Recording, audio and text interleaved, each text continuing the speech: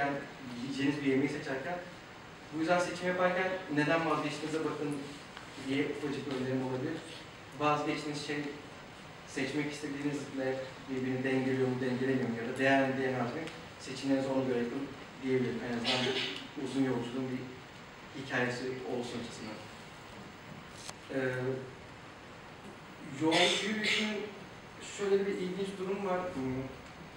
Çok uzun süre yolda yürüyünce başınıza sürekli ne geleceğini bilmediğiniz için artık elinizde ne varsa, karşınıza ne geliyorsa onunla idare etmeyi öğrenmek zorunda kalıyorsunuz.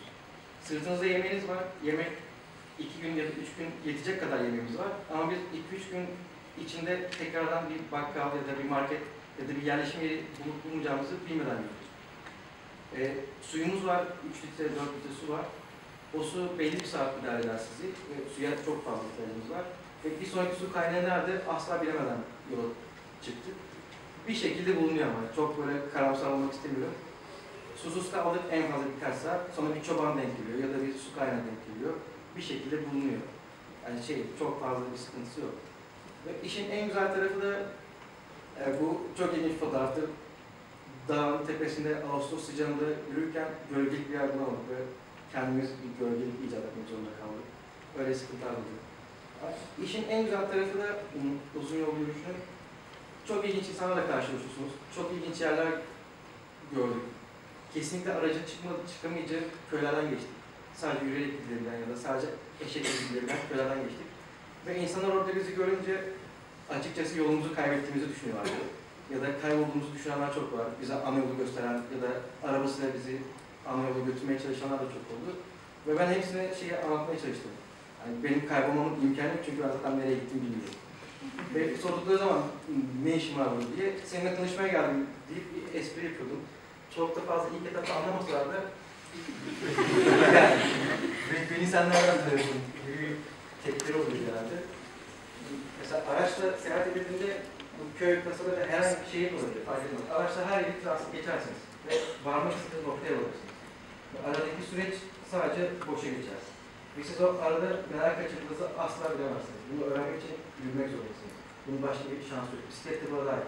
Bisiklet de bir araçtı ve araçla hareket ettiğiniz anda o baktığınız her zaman geçen noktada ne olup bittiğini ya da ne var olduğunu öğrenemezsiniz. O yüzden adım adım seyahat ederken karşılaştığımız insanlara ben seninle tanışmaya geldim, araçta geçsem seni asla tanımayacaktım dediğim anda o güzel bir gülümseme oluyor ve o insanların hayatına dahil olmak çok farklı oluyor. Çok ilginç hikayelerle karşılaştım.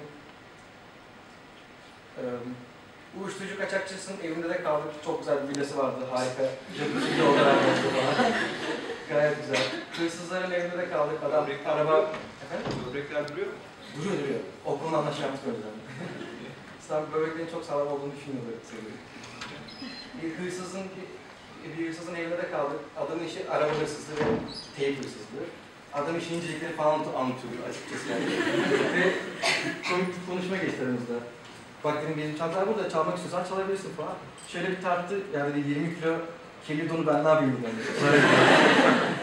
o yüzden de bir şey sıkıntısı yok. Genelde herkesin aklına gelir güvenlik sıkıntısı. Sırtınızda çantayla eziyet çekerek yürüyorsanız zaten kimse size sıkıntı yaratmaz çünkü kimsenin ihtiyacı, insanların ihtiyacı olan bir şey sizde yoktur. Onu bilirler.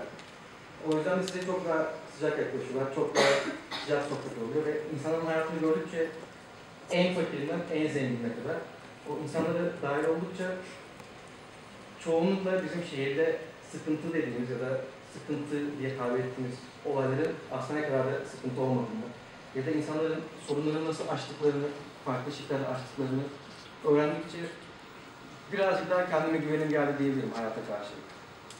Ee, çünkü aynı sıkıntıları yaşıyoruz, yabancı ülke bile olsa. Herkesin sıkıntıları ortak, ekonomik, sosyolojik vesaire.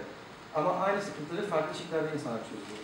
Ve bunları yol boyunca topladıkça şu anda zihnimde bir sürü sıkıntıya bir sürü farklı çözüm var değilim. Bu beni çok fa- fazlasıyla rahatlattı açıkçası. En büyük kazancım bu oldu. Sıkıntıları nasıl aşabileceğimi gördüm. Kendime çok ciddi bir güvenim geldi. Çünkü hiçbir şey bilmeden hareket etmek inanılmaz zor bir deneyim için. Ve kendimle tembel bir insan olarak sürekli mücadele halindeydim. Ve tembelliğin de yıktığını düşünüyorum İzmir dışında olduğum sürece. eve döndüğüm anda işler değişiyor.